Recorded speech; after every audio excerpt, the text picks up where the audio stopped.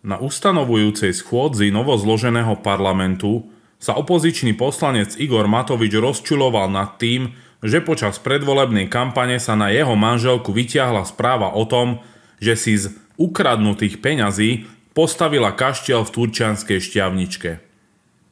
Túto správu Matovič označil ako bohapusté klamstvo a obvinil z jej šírenia Pelegrínyho. Nebudem teraz riešiť, či manželia Matovičovci vlastnia alebo nevlastnia nejaký kaštiel. To nech si riešia zákonnou cestou sami, ak sa cítia ukrivdení na svojich právach.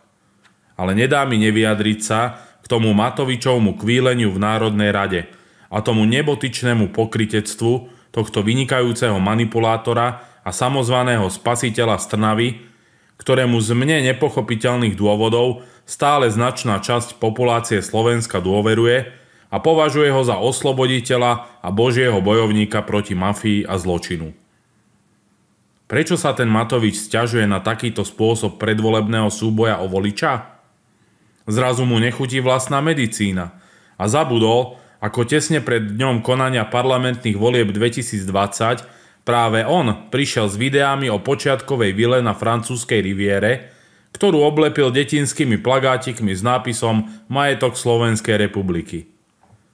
Pritom dnes už vieme, že si to celé vymyslel a Boha pustotým oklamal a podviedol voličov.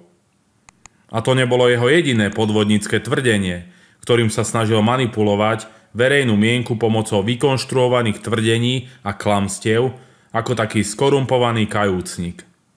Takže ako sa on zastrájal, že nemá rád chlapov, ktorí nosia červené tangáče a Pelegrini mu odkázal, že ak ešte raz bude rozširovať o majetkových pomeroch jeho manželky takéto reči, tak si to s ním vybaví inak.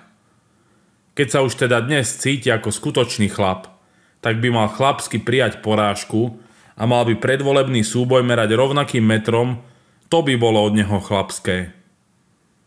Z jeho dojímavého výlevu v Národnej rade sme sa dozvedeli, že on síce v turčianskej šťavničke nikdy ani len nebol, ale tie ukradnuté peniaze nejako nevyvrátil.